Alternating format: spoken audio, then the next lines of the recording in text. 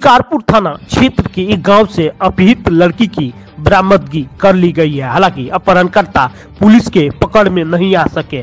अपहित लड़की की बरामदगी ओवरब्रिज से की गई। थानाध्यक्ष अजय कुमार ने बताया कि शिकारपुर थाना के एक गाँव से खेत देखने गई लड़की का अपहरण दो माह पूर्व कर लिया गया था। मामले में लड़की के पिता ने शिकारपुर थाने में प्राथमिकी दर्ज कराई थी, जिसमें गोपालपुर थाना के बैसकवा गाँव निवासी सरताज, उर्फ़ सलमान शेख आरस, तैमून नेशा एवं एजाज आलम को आरोपित किया था। घटना तीन अक्टूबर की है। मामले में मुख्य आरोपित सरताज के पिता शेख आरस को पहले ही जेल भेज दिया गया है। अन्य आरोपितों की धरपकड़ के लिए छापेमारी की जा रही थी।